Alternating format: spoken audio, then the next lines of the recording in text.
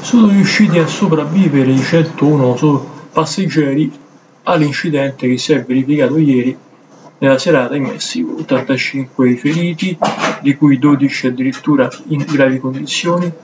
Una donna che è riuscita a salvarsi dal disastro ha rilasciato, pensate, una testimonianza, una sua, chiamiamola, diretta testimonianza ad una televisione messicana in cui avrebbe spiegato come sono riusciti a salvarsi.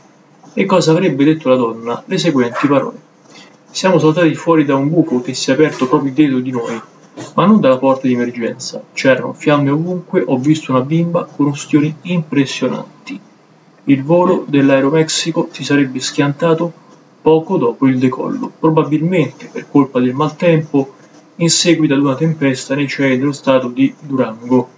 Non ci sono stati decessi nell'incidente del volo, avrebbe detto su Twitter il presidente dello stato di Durango di nome José Rosas Aispuro e le persone ferite sono state assistite.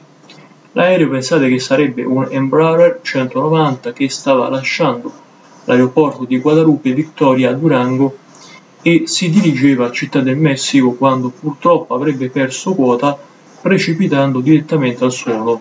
97 passeggeri stava trasportando e ben 4 membri dell'equipaggio per un totale di 101 circa.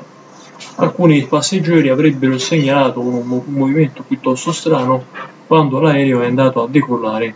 Stava piovendo, c'è stata una tempesta, penso che abbiano tentato di cancellare il decollo, ma non ci sono più riusciti, queste le parole di Icepool.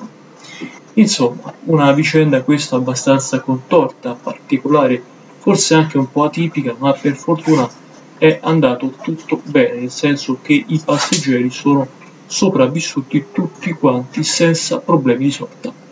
Grazie di vivo cuore per la visione e per l'ascolto, un caro saluto e al prossimo video.